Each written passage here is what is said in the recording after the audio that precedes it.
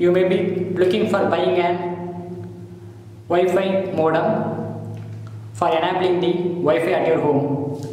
There are two types of Wi-Fi modem. One is Wi-Fi hotspot modem and the other is soft Wi-Fi modem.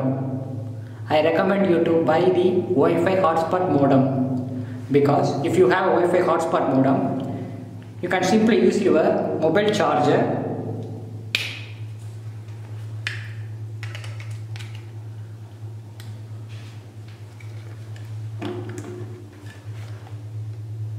to connect on the plug point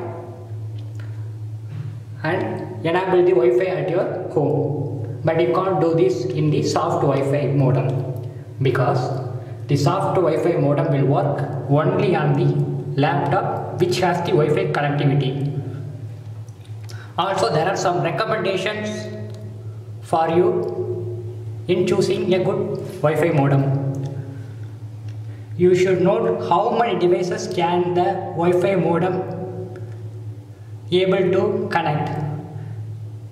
With this Wi-Fi modem, this is a Huawei Wi-Fi modem, Wi-Fi hotspot modem.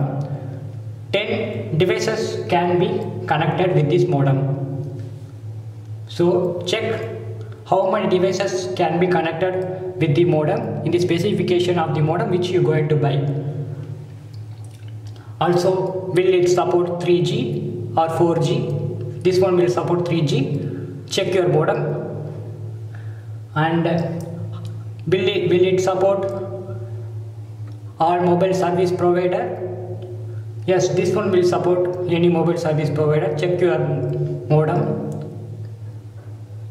Check your modem about which it is limited to a specific service provider or it can be used to used for any mobile service provider.